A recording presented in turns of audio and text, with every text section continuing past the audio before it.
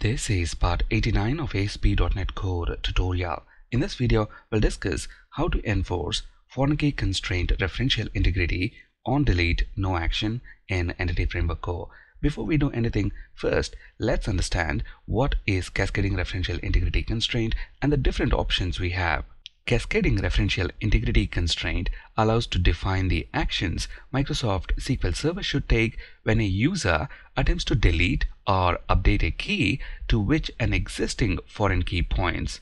Let's understand what this means with an example. Consider this employee table. If I ask you now what is Mary gender, you wouldn't be able to tell because you don't know what this value 2 means. Now consider this gender table.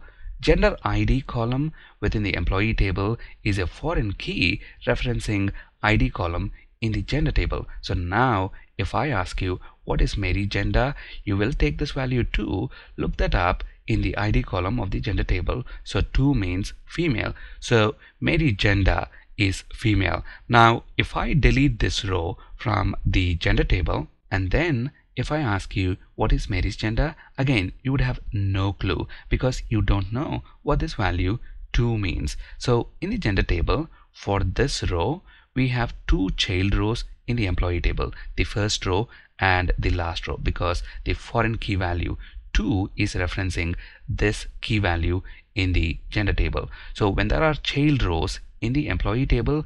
And if we delete this parent row from the gender table these two rows the first row and last row will become orphan records. So cascading referential integrity constraint allows to define the actions a database should take when we attempt to delete or update a key to which existing foreign key values point to. In Microsoft SQL Server we've got these four options we discussed cascading referential integrity constraint and what these different options do in detail in part 5 of SQL Server tutorial. So if you're new to these concepts, please check out this video. I'll include the link in the description of this video. Now, in ASP.NET Core, registered users are stored in ASP.NET Users table and roles are stored in ASP.NET Roles table. User and role mapping data is stored in ASP.NET User Roles table. This table has got just two columns, user ID and role ID, and both are foreign keys. User ID references the ID column in ASP.NET Users table, and role ID references the ID column in ASP.NET Roles table. Now, let's say we've got an admin role. So the role ID and role name is stored in ASP.NET roles table and let's say we have got two users so their user ID and username is stored in ASP.NET users table and those two users are in the admin role so that role membership data is stored in this table ASP.NET user roles now, if we delete the admin role from ASP.NET roles table, what should SQL Server do? Let's look at the default behavior that we have in Entity Framework Core. At the moment, within our application, we've got just two roles, user role and admin role. So if we take a look at ASP.NET roles database table, we've got those two roles here. Look at the name column, user role and admin role. At the moment, only this user with username pragim at pragimtech.com is a member of the admin role. So if we take a look at ASP.NET user roles table, we have just that one row. So this user ID here is the user ID of the user pragim at pragimtech.com and he's a member of the role admin.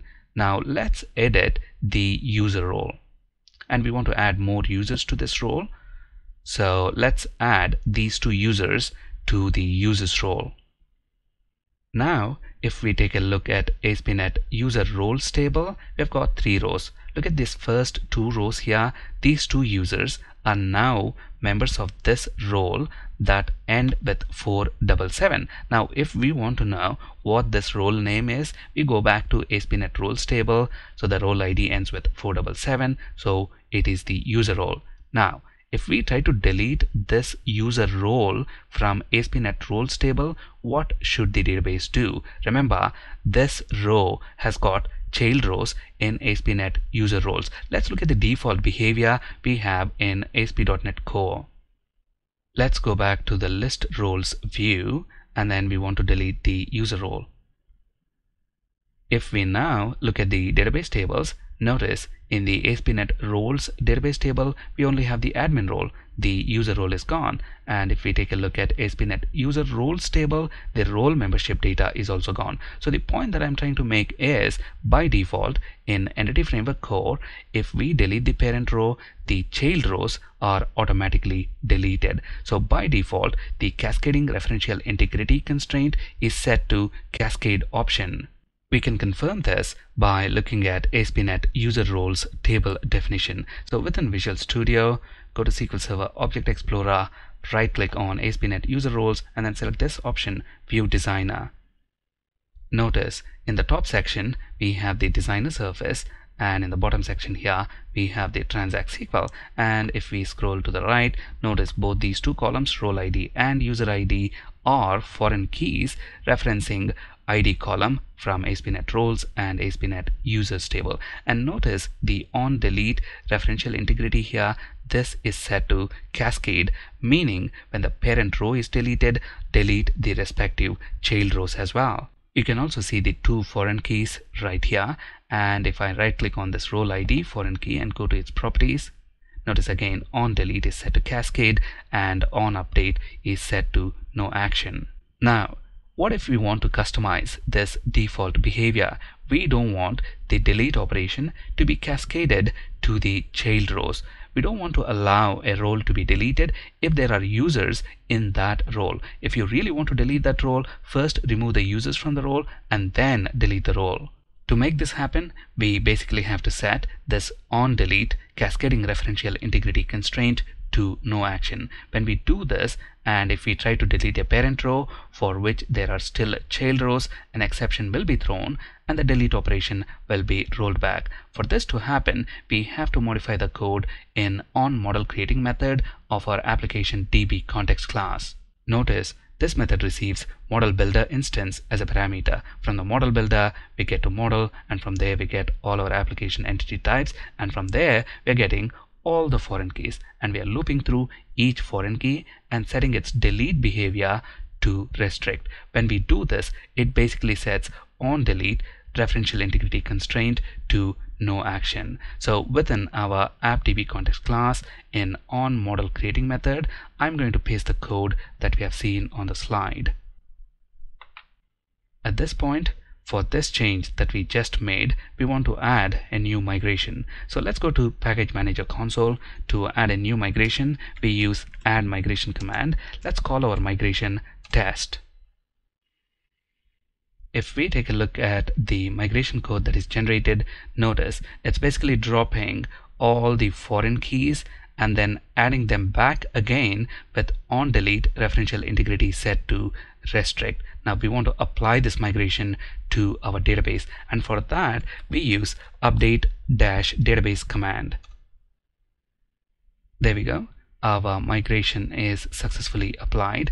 If we now take a look at ASP.NET user roles table designer, we still see on delete cascading referential integrity is set to cascade let's close the designer and reopen it to see the updated changes notice on delete referential integrity is not set to anything explicitly here. If we don't set anything explicitly, the default for a database is no action. So if we look at the properties of this role ID foreign key, notice on delete referential integrity is set to no action. Let's create a new role now. I'm going to call it test role. At the moment, within this test role, we don't have any users. So if I try to delete this role, we should not have any problem. There we go. The role is successfully deleted. Now let's add that role again. This time, let's add users to this role. Let's make these two users members of our new test role. At this point, if we try to delete this role, it should not be allowed because there are child rows referencing this role ID.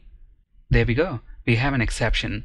The delete statement conflicted with the reference constraint and the delete operation is rolled back. So if we take a look at the data that we have in ASP.NET roles table, notice we still have test role within the database table.